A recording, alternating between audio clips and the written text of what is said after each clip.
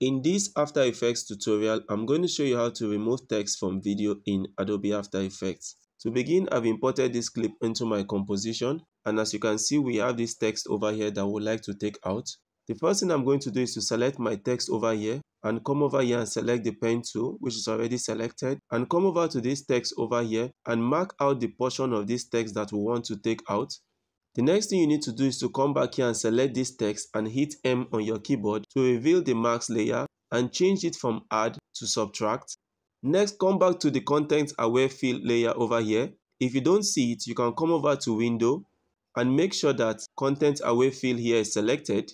Next, under your content aware fill, the next thing you want to do is to hit generate fill layer and this will automatically begin to generate layers to fill up that portion that has been marked out. And as you can see over here it's beginning to analyze. So what you need to do is to be patient and wait for it. And once it's done analyzing it's going to automatically begin to render the frames. But if you can see over here you will notice that the text has already been removed. But this is my settings. Under content aware fill i set my alpha expansion to 26 i set my fill method to object I set my lighting correction to strong and my range to work area. Another thing you can do under your mask one over here, you can select this little arrow over here and select it once more. And you can come down to your max expansion over here and increase the value for your max expansion to blend with your video. And that's it guys on how to remove text from video in After Effects.